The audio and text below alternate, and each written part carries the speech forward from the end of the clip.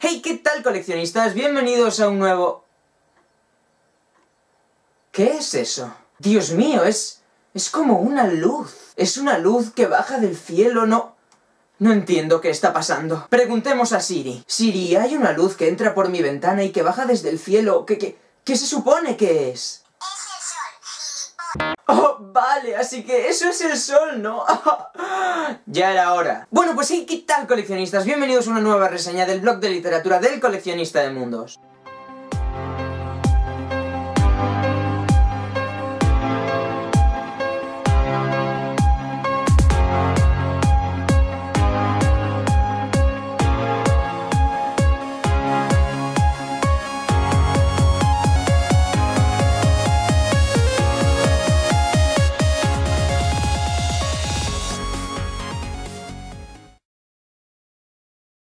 Hacía mucho de la última reseña, ¿no? Ya ni me acuerdo de cómo se hacía esto. Pero bueno, en honor al libro del que vamos a hablar hoy, Life, de Javier Ruescas, la reseña de hoy será en directo. Bueno, en directo no, porque la voy a editar y todo eso. Pero será completamente improvisada, como las que hacía antes. Sí, antaño, por aquellos tiempos. Ah, cuando yo era un joven aprendiz de booktuber.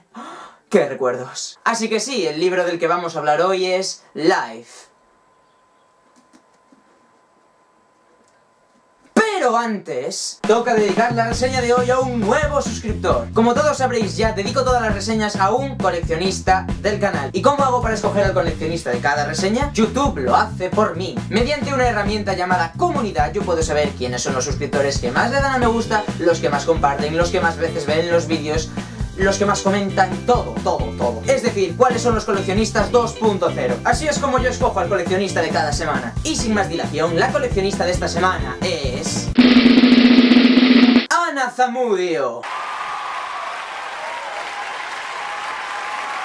Raro es no ver comentando por los vídeos a Ana Zamudio y además es de las que más le da me gusta y de las que más comparte mis vídeos, así que muchísimas felicidades a Ana por ser la coleccionista de la semana de hoy, te lo mereces.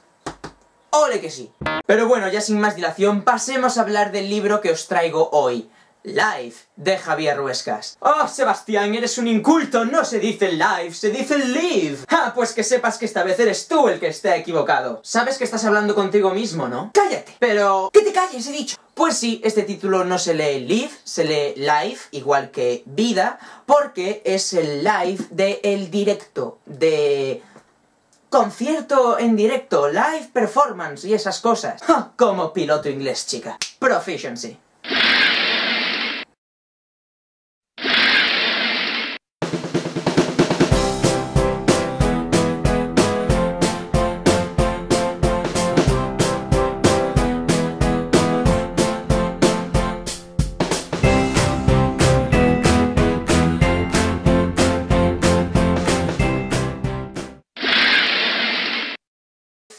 Live es la tercera parte de la saga Play. Play Show Life. Os contaré un poco de qué va la saga. Play nos cuenta la historia de dos hermanos, Leo y Aaron. Dos hermanos muy diferentes. El único sueño de Leo es ser un actor súper famoso y reconocido mundialmente, quiere la fama, quiere el dinero. Sin embargo, no tiene mucho talento que digamos. Aaron, en cambio, tiene muchísimo talento para cantar y para componer música, pero no desea hacerse famoso ni nada por el estilo. Sin embargo, un día, su hermano encontrará las canciones que él graba en el ordenador y se dará cuenta de que tiene mucho, mucho potencial pero en vez de animar a su hermano a que saque a la luz estas canciones, lo que hace es grabarse, cantándolas, haciendo playback, y hacerse pasar como el compositor y cantante de la obra de su hermano. ¡Qué majoye! Subirá estos vídeos haciendo playback a YouTube y enseguida se harán virales y por supuesto lo descubrirá su hermano. Será una empresa de cazatalentos, Devil la que les descubra y les lleve al estrellato. Bueno, a Leo, por supuesto, porque Aaron se mantiene en la sombra, aunque sea él el cantante y compositor de las canciones. Con estos dos protagonistas descubriremos un mundo de fama, de música, de amistades, de dinero, un mundo al que ellos no están acostumbrados. Y nos lo contarán desde dentro, porque son ellos dos, los protagonistas, los que alternando capítulos nos cuentan la historia. Esta es una historia que gusta a todo el mundo, está llena de friquismo adolescente y de amoríos y de amistad, y por supuesto de fama. Os encantará esta saga, os lo aseguro. Y de hecho me hace especial ilusión porque en esta tercera entrega, en Live, en la solapita, aparece mi recomendación. Si buscáis una historia de amor, amistad, música y fama, os recomiendo infinitamente esta trilogía. Es imposible que no os guste. Así que si no has empezado la saga todavía, no me queda más que recomendarte que lo hagas. Play, Show y Live, del que voy a pasar a hablaros ahora. Pero, si no te has leído los dos primeros, te aviso de que va a haber spoilers en lo que sigue del vídeo, así que te recomiendo infinitamente que cierres esto, en serio te lo estoy diciendo. Tengo muchos, muchos, muchos vídeos, en serio. Y estoy convencido de que no los has visto todos. Y en serio, no, no, no te merece la pena spoilearte este, esta historia. Es, es genial. Y me sentiría muy mal si te la spoileases. No seas tonto, hombre, por favor. Así que te doy 10 segundos para, para cerrar este vídeo. En serio, no, no, no lo... Cierra. Cierra. Cierra.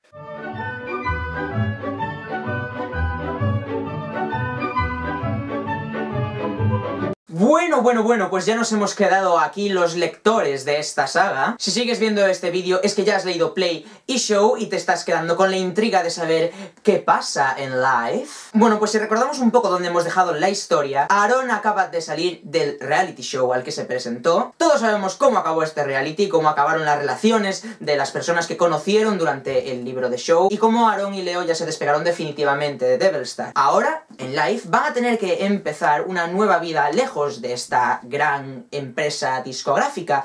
Y lo que en un primer momento parecía un sueño, ¿no? Poder ser libres por fin, pues no, no es como lo pensaron. Mm, no. Por un lado está Leo. Ha abandonado definitivamente el mundo de la canción y ahora se está centrando en la interpretación, ser actor, que es lo que él quería desde un primer momento. Todavía arrastra un poco de famoseo, así que le llueven bastante los contratos, pero ninguno da sus frutos. Y en la mayor parte de los sitios solo le quieren contratar porque es el hermano de Aaron Serafín. Y está empezando a cansarse un poco de que la gente no le tenga en cuenta y de que solo le quieran porque, porque puede tener acceso a su hermano. La cosa no le va muy bien. Y después está Aaron, sigue con nuestra queridísima violinista, pero hace meses que no saca ninguna canción. Sin embargo, no por ello se ha apagado su fama. Vaya donde vaya, no puede hacer nada sin seguridad, sin un guardaespaldas, sin un chofer. Cualquier mínimo escándalo que suceda en su vida es excusa para hacer portada de todas las revistas. Y es algo que no puede evitar. Y por si fuese poco, ahora que han vuelto a Madrid, pues se sienten lejos de todos sus amigos de Estados Unidos. Hasta que de repente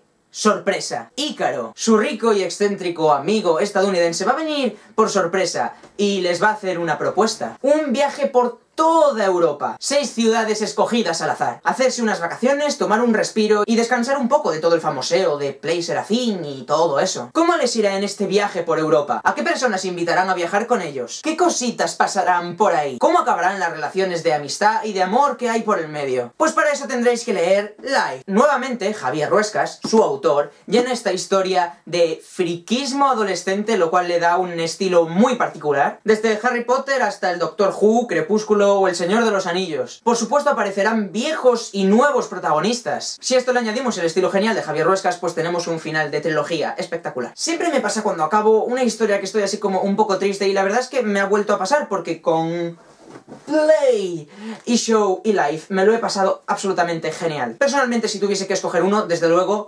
Live. Me pareció el más realista, el más humano de los tres. Sus protagonistas tienen que retomar su vida normal, su vida de siempre, pero arrastrando una horda infinita de fans y de paparazzis y no siempre es fácil. Sin duda es el que más me ha gustado. Y para todo el que no conozca a su autor, a Javier, pues os dejo por aquí y en la descripción un vídeo que grabó hace poco conmigo en este canal en el que le hacemos una entrevista entre todos y bueno, espero que disfrutéis mucho del vídeo. Y bueno, eso ha sido todo por hoy, espero que os haya gustado la reseña. Recordad, larga vida a los libros y nos vemos en el próximo vídeo del coleccionista de mundos. ¡Chao!